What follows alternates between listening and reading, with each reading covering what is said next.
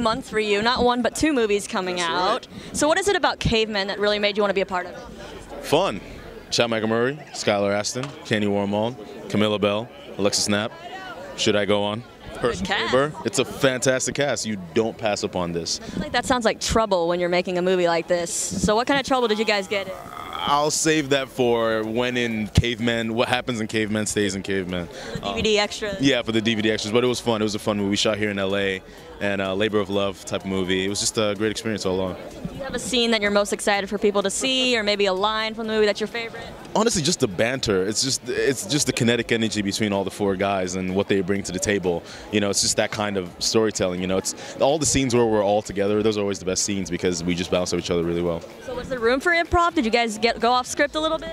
Honestly not a lot because the script is just just has that kinetic energy to it where it's like if i do too much extra i'm just going to ruin it so you just try to stick to it and that's just you know testament to how great a writer herschel is and a director you know so yeah And this is about finding love. So, complete the sentence. Love is. kind love is patient can i go on you see what i did there Out of the back. Second Corinthians something? I don't know. Yeah. And obviously, uh, some of the characters are going through this friend zoning thing. What is your take on friend zone and advice for that? Friend zone, get out of it.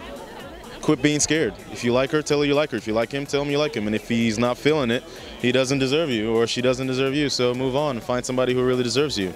I'm not about that friend zone life.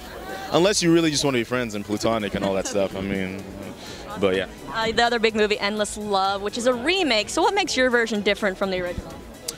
Oh man, tough question. Well, we tried to stay away from the original as much as possible and just make a movie that was different and endearing and honestly about what it feels like to be young and in love.